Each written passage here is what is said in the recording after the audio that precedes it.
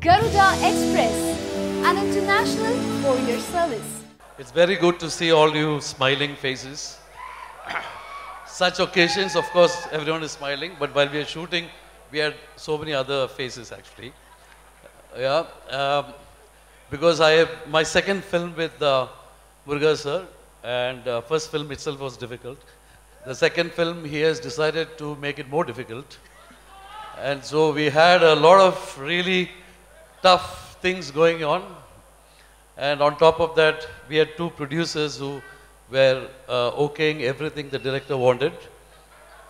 And then an actor who would do wonderful things like hang upside down and all these things would happen.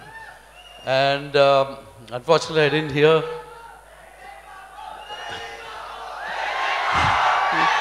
Okay.